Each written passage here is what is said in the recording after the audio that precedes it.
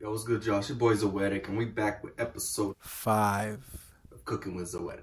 Uh, yeah, listen, really up in that kitchen, trying to find what's missing, but time keeps on slipping. All right, so for this episode, I really wanted to focus on colors and presentation. Um, you know, as you guys know, I've been talking about this for a long time, but um, my new R&B album is coming out very, very, very soon.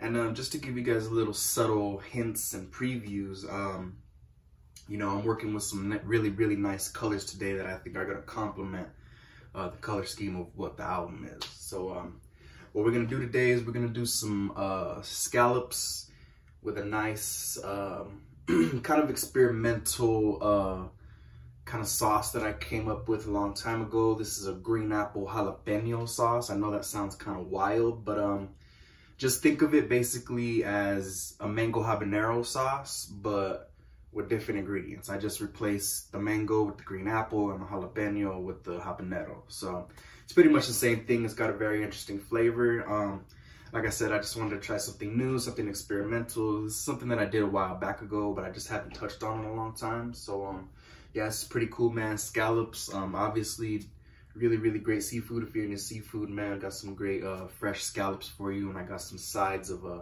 my take on cilantro lime rice and um, a little bit of squash and carrots on the side, trying to get a little bit healthier, you know what I mean? Not trying to get too heavy, not trying to get too, uh, uh, you know, fatty with the, with the foods here, you know, trying to keep it a little lighter. Um, and that's really it, man. I thank y'all so much for tuning in and, uh, you know, let me know if you guys are trying out um, any of the recipes, specifically this one. You know, this is a really kind of out there, left field kind of a recipe. So let me know if y'all are trying it, man. And uh, thanks for tuning Okay, in. so first thing we're gonna do is we're gonna get some apple juice, some unsweetened apple sauce, and one jalapeno. We're gonna throw that in the blender, get it blended up, and I also strained it a little bit just to make sure I was um, getting as much of the jalapeno chunks out. And uh, I know it sounds like a really weird combination at first, but once you get it all blended together, put it in the saucepan and you get some brown sugar in there, get it boiled down. It starts to take on really nice, uh, sweet but spicy flavor. Uh, I wish you guys could try it because it's kind of weird to explain, but it's really good. Uh, next up, we're gonna get our rice onto boil because that's gonna probably take the longest. Um, gonna season our water with some chicken stock, garlic powder, salt, pepper, and cilantro. Also got a some lime juice and a little bit of lime zest in there. And you guys know how it goes: one cup of rice, two cups of water, and you're looking at some perfect rice. Next up, what we're gonna do is we're gonna get our vegetables cooked here. I want to just get them a nice sear, you know, get them a good texture, not not mushy, but still kind of crisp. Um, these nice little wavy cut carrots were were pretty nice. They worked out nicely and paired with the with the squash. It was really a, a springtime, summertime feel.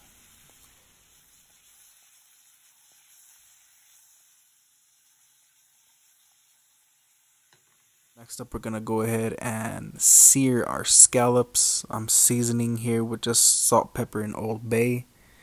Um, seasoning both sides. We got our heat on high, trying to get that uh, a hard sear because you want that that texture when you cut into it, but you still want it nice and tender.